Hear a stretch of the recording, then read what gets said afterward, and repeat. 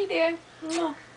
We just got done watching Camp Rock, and uh, it was pretty awesome. I thought Joe was gonna kiss um, what's her name, Mitchie. Yeah. And um, I thought Joe was gonna kiss her, but thank God he didn't, because I would have a cow, and so would all the other Joe fans out there. And Nick looked really good. We're about to watch the burning up video. Yeah. When I turn turn it over.